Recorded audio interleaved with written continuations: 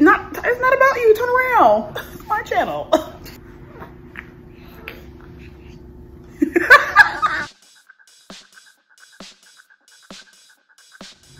Hi guys, welcome back to my channel, That Chocolate Vegan with me, Erin Wells. And you read that title correctly. Today we're gonna make vegan Crabbies, two ways. Let's get started.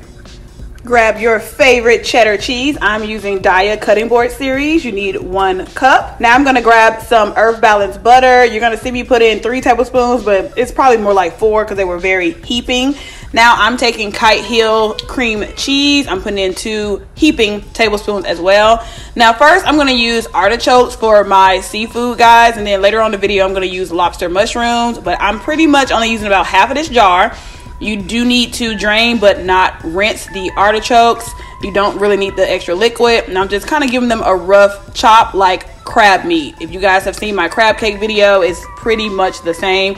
Now I'm going to season with some Tony Chachere's and some garlic powder.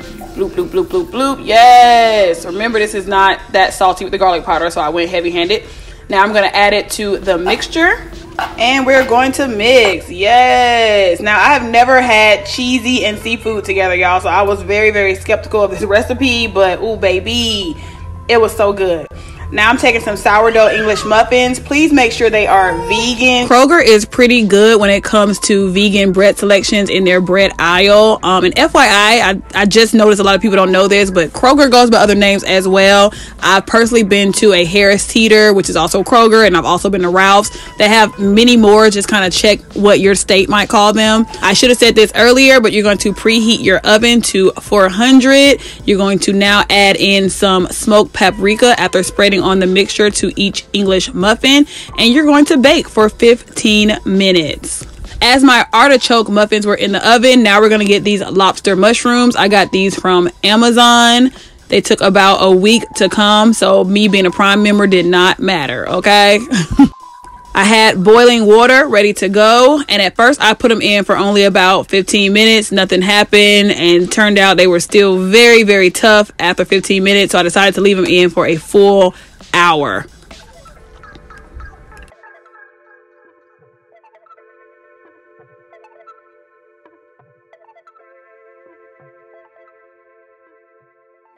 All right, y'all, y'all know I look a hot mess, but I'm at work. I'm super excited. It smells so good.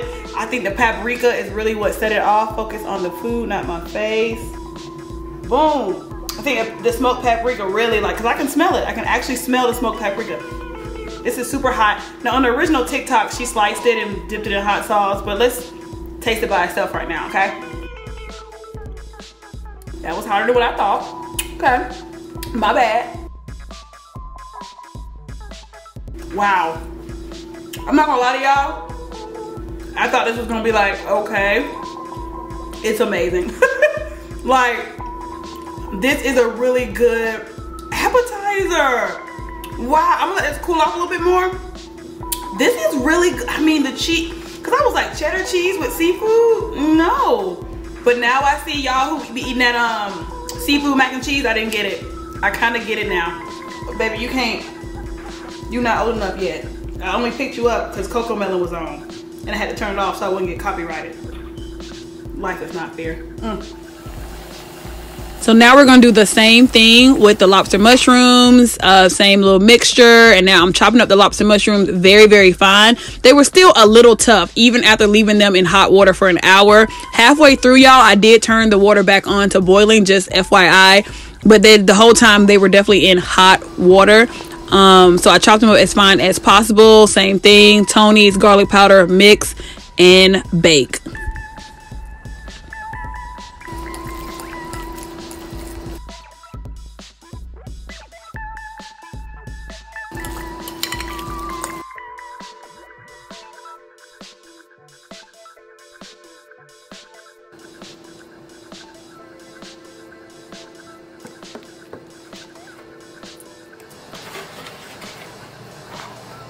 Okay guys, I let everything cool. Here they are.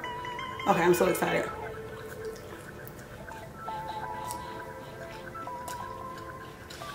Mmm.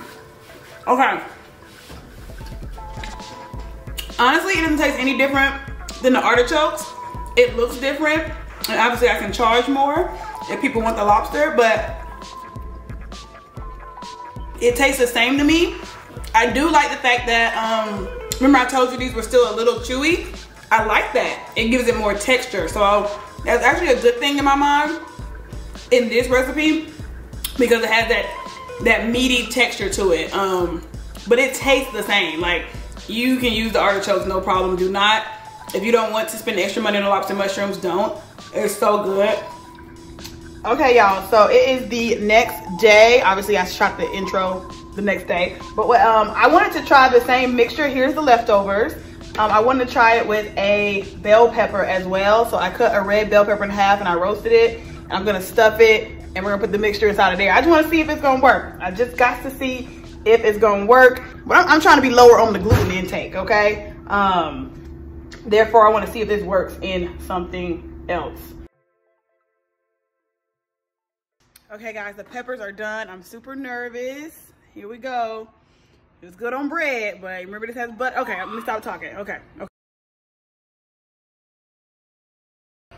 It's actually not bad, but it's not as good as bread because it's like, it's soft on soft. Hold on, let me get Kingston.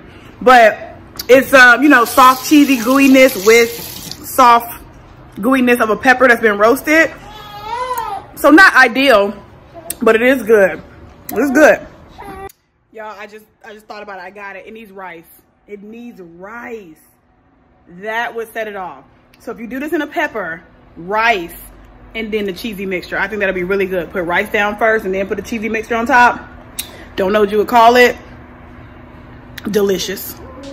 As always, make sure you like, comment, and subscribe down below, and I'll see you next time. Peace. You gonna do it? You gonna do it? You, you, you're not gonna do it.